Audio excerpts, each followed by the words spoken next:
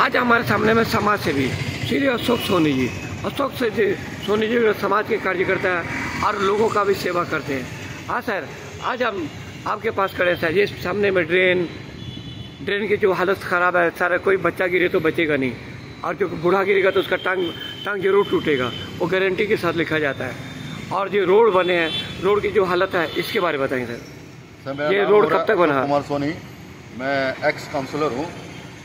अब जिस रोड के बारे में अभी आप बता रहे हैं आज जिस ड्रेन के बारे में बता रहे हैं अभी कुछ महीना पहले ही वो रोड बना है। अब उसका क्या हाल आप देखिए। इससे ये पता चलता है कि वो लोग किस हिसाब से काम किए हैं और ऑफिसर लोग किस हिसाब से काम कराए हैं।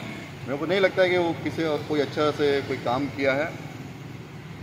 चलिए आप चाहते हैं इसको तदंत करा जाए रोड अच्छा सा बनाया जाए? मेरा बोलने का मतलब है कि अगर किसी चीज़ का अगर पैसा दिया जाता है तो उसका यूटिलाइज भी सही होना चाहिए उसका काम भी सही होना चाहिए।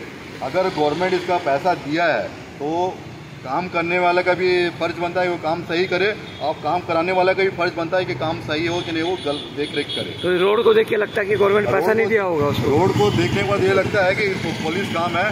पैसा भी नहीं मिला होगा। अनेसरी गवर्नमेंट अपना पैसा वेस्टेज कर रहा है। चलिए तो बहुत बहुत धन्यवाद। अभी आपने अशोक सोनी जी से बात सुनी।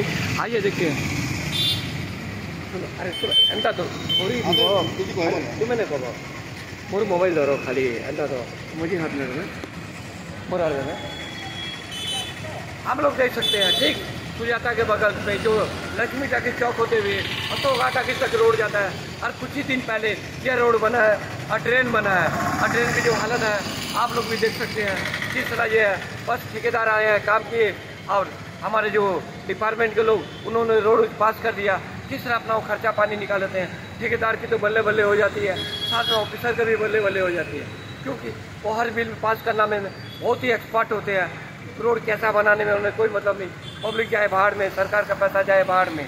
बस हम भी चाहेंगे कि इसको आए ऑफिसर आए, सरकार आए, देखे ये रोड को, और ड्रेन को देखे। और इसको किस तरह फिर पुराना, फिर दोबारा बनाया जाए, इसके चलते लोगों को आराम हो सकेगा।